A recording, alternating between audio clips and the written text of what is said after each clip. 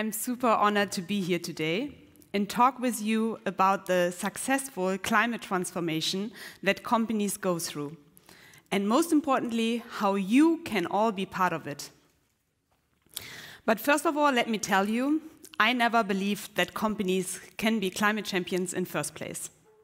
I always believed they are the problem. But things have changed, and nowadays I work as founder of the Climate Choice on a daily basis together with decision makers and companies who go all in and want to make a difference. So let me tell you how this happened and how you can become part of that journey.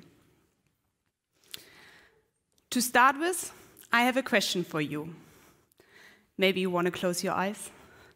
When was the moment you realized climate transformation is really the challenge of the 21st century? Picture it, and you can open your eyes. Maybe it was somewhere during the last years when millions of young people went to the street to demonstrate for a regenerative future, which we own them. For me, this climate aha moment was back in 2014 when I had the chance to study the IPCC report of the Intergovernmental Panel on Climate Change, together with Professor Dr. Ottmar Edenhofer, the nowadays co-director of the Potsdam Institute for Climate Impact. Back then, it was the first time I really looked into the data, the science behind the climate crisis. And I couldn't believe what I was reading. I mean, for sure, as many of you, I already knew that the planet was in a really bad state. But I had no clue that we were rushing in such a fast pace in our self made climate disaster. And this was the moment I realized that actually the results showed that most of the negative impacts that we have been forecasting until then for the end of the century will most likely already happen in the middle of the century. So I was shocked.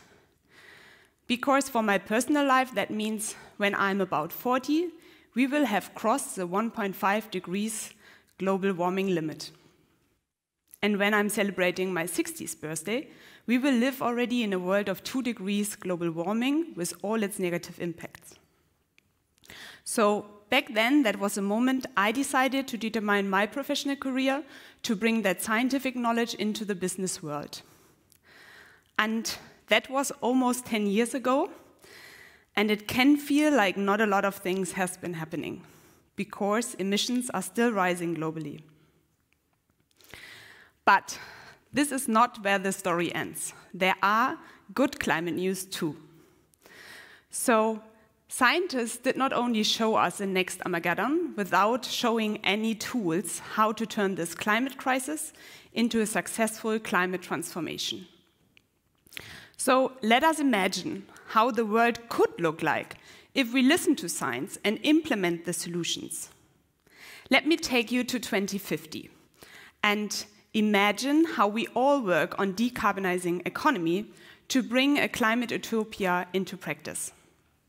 So again, maybe imagine I'm standing in front of you on a TEDx stage in 2050, not talking to you, but the next generation. What would I ask them? Would I still ask them about their climate aha moment? Or rather, when was the moment you realized we succeeded in climate transformation? and that we are on a regenerative path to the future. So let me tell you from 2050 how the journey started. So our successful journey to climate transformation started because people listened to science. And we went through three major mindset shifts that allowed us to turn the climate crisis into a successful climate transformation. And the first mindset shift that happened was acceptance. We accepted that economy plays a major role in climate change. This is obvious because 70% of all emissions worldwide were created since the Industrial Revolution until the early 2020s by about 100 companies. But we also accepted that these companies were not alone. Did you know that about 90% of emissions sometimes even more, of a company are created in its supply chain. And thereby, half of our global emissions are created and locked in only eight supply chains worldwide. And each of those are consisting of hundreds and thousands of suppliers.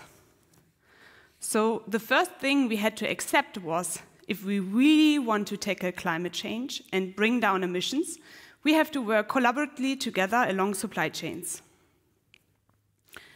The second mindset shift that happened was responsibility. Until then, we often believed we couldn't have already the solutions to fight climate crisis. And we always thought there must be a new innovation so that we can solve it all at once. But then we actually realized that most of the tools are already out there at our fingertips.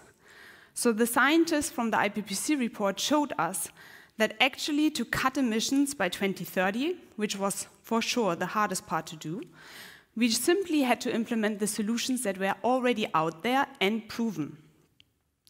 So this led directly to the third mindset shift, to actions. We didn't really had a solution problem, but an implementation issue until then. But then people actually accepted they have a role in climate change, they took responsibility, and companies implemented the solutions that had the power to reduce more than 50% of emissions with a high impact and low cost along supply chains. So looking at a single supply chain, that didn't mean that one company took actions, but actually hundreds and thousands of them. And the solutions were already out there. So together, they switched renewables. Together, they used electronic transport. Together, they went to circular processes, and together, they implemented natural solutions. So a true race to zero started, and actually companies were competing to take climate actions.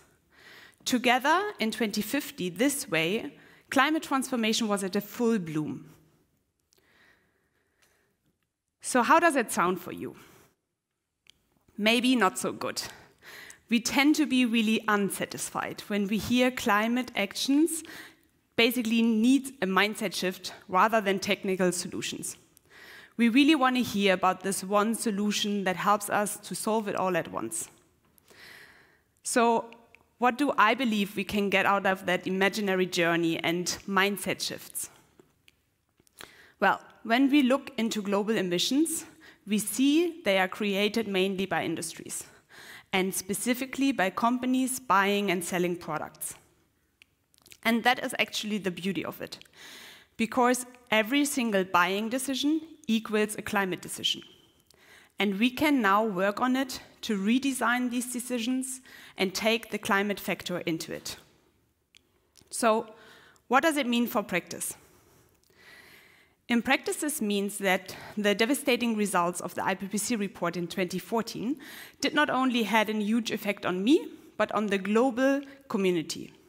So one year later, in 2015, we agreed in Paris to actually cut emissions until 2030 by half, which is now in the next seven years. And what governments did was working together to provide guidelines how to implement these climate targets into actions and accelerate climate solutions. And this is what they got for us.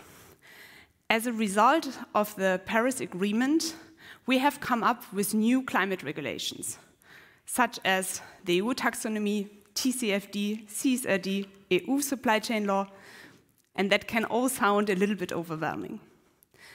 But what they provide for us are actionable frameworks that help companies to manage their climate performance holistically. So from today onwards, companies do not only have to show their CO2 emissions, but also their strategies, how they bring down emission, and how they're engaging their suppliers in that journey. So Having all these guidelines at hand, companies can nowadays really become the climate champions of this transformation. They can turn supply chains into real sources of value for people, planet, and profit. So, what do we need for this? Normally, towards the end of a TED talk, one would say how we can solve the whole thing by a clear set of solutions. Normally. But climate transformation is different.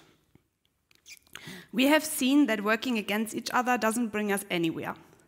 We cannot go in a fight against companies and just leave it to our private life to boycotting or demonstrating on the street, which is for sure a good thing to do, but we can do much more. We are talking of the greatest transformation of the economy since the Industrial Revolution. We are talking of a climate revolution in a minimum of time, and we cannot lose any more years. So that brings me back to our shared climate aha moment. Because the climate aha moment of the business world is right now. And we are all part of it as employees, employers, customers. So, what we can do is really understanding our climate power in economy and using the three mindset shifts to succeed in climate transformation. This is what you can do.